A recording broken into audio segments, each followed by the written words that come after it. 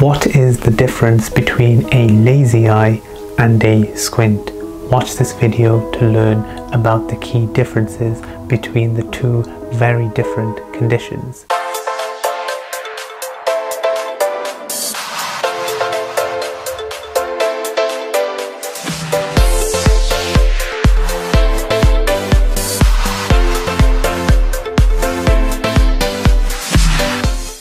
First we will focus on what a squint is. A squint is also known as a strabismus.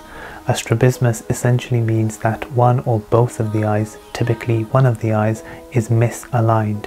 The eye can either be pointing up, down, in or out and essentially if this occurs it means that both of the eyes instead of working together are working independently this can typically result in double vision. However, this is not always the case because if this condition develops early in life, patients can adapt to this and they essentially block the image of one eye so that double vision does not occur. Depending on the cause of the squint, the management and treatment will also vary.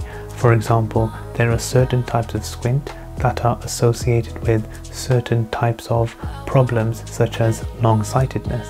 If you want to learn more about long-sightedness then definitely watch the other video in this short series where I describe what short-sightedness and long-sightedness both are. So for example, if one has a prescription that is long-sighted, there are certain types of squint when if one is given the correct spectacle correction, the squint will align and correct itself and therefore the eye will point straight ahead.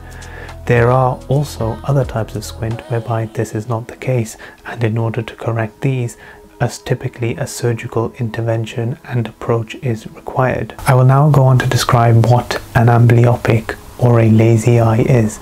It is important to remember that an amblyopic eye is not a squint or a turn in the eye or eyes which people frequently confuse it for. An amblyopic eye essentially looks like a completely normal eye and structurally it is a normal eye. However, abnormal visual development has taken place and therefore the amblyopic eye or the lazy eye does not see as well as the other eye or the good eye. Typically this condition can occur as part of a squint but it can also occur for other reasons.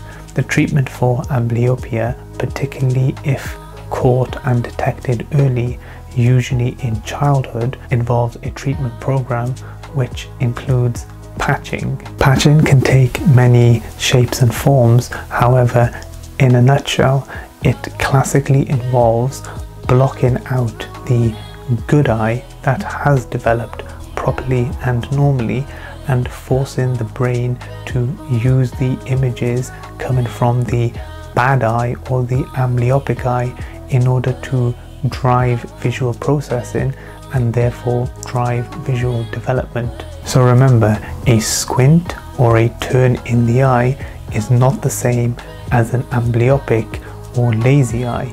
The latter is when one does not see very well, whereas a squint or turn simply means that the eye is not looking straight ahead. Thank you for watching this current video in my series of what is dot dot dot.